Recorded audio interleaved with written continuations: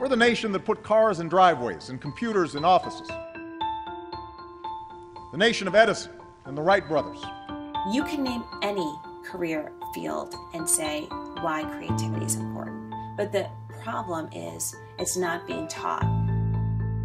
What America does better than anyone else is spark the creativity and imagination of our people. We always revert to the same two or three examples.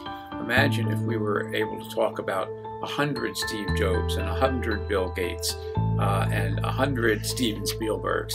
Then all of a sudden we realize that there's so much more that can be developed and can be created and produced by our society, by our culture.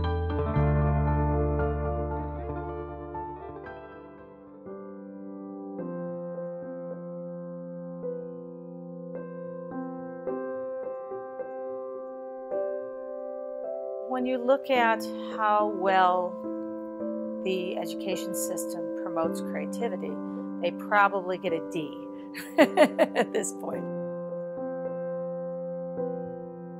As children get older, they start getting pushed into there's a right answer, there's not a right answer, there's only one answer, you have to do it this way. And so they can unlearn being creative as, as much as they can learn it.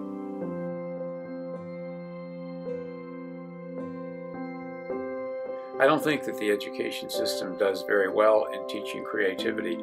About 99% of going to school is finding the right answer. The United States in general has been very good at throughout time has been able to really think outside the box and to be creative and find innovative approaches to things.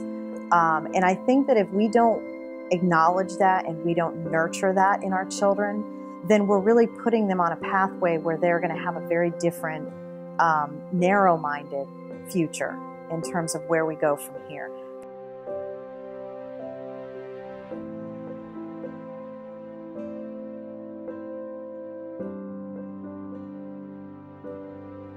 I think there's a lot of dangerous things happening in education. I think that's a strong word, but I, I believe that we're really undermining our creative potential.